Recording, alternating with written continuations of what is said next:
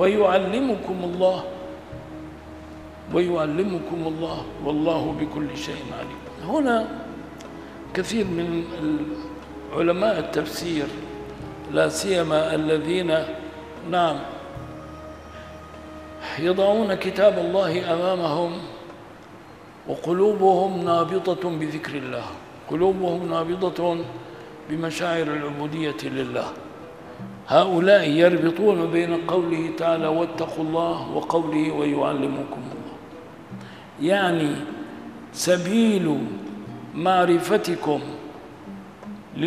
لما تجهلون أن تضعوا تقوى الله لا بين يعني عينيكم بل في قلوبكم. تقوى الله عز وجل هو مفتاح الوصول إلى العلوم. هذا معنى كلام الله. اتقوا الله ويعلمكم الله. أي علم؟ علوم الشريعة علوم اللغة العربية العلوم الكونية علوم الطب أي شيء.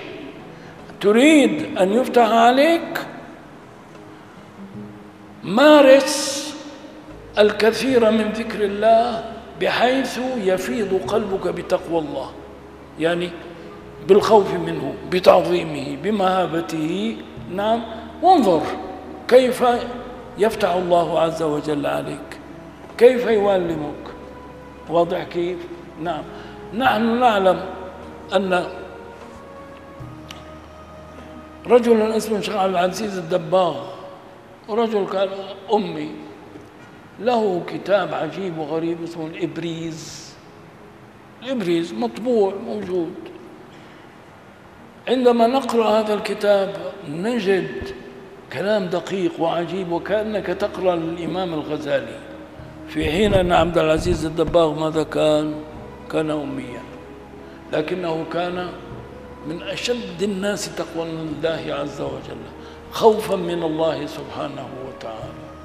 أمور عجيبة وغريبة سبق فيها الفقهاء سبق فيها العلماء.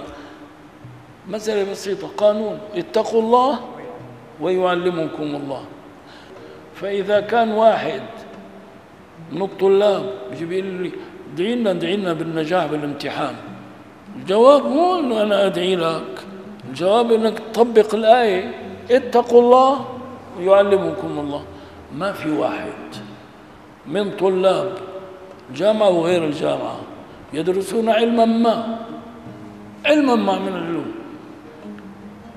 مارس في حياته العمل الذي جعله يتمتع بتقوى الله تغرس مشاعر تقوى الله بين جوانحه إلا وكان نصيبه النجاح الباهر. النجاح الباهر.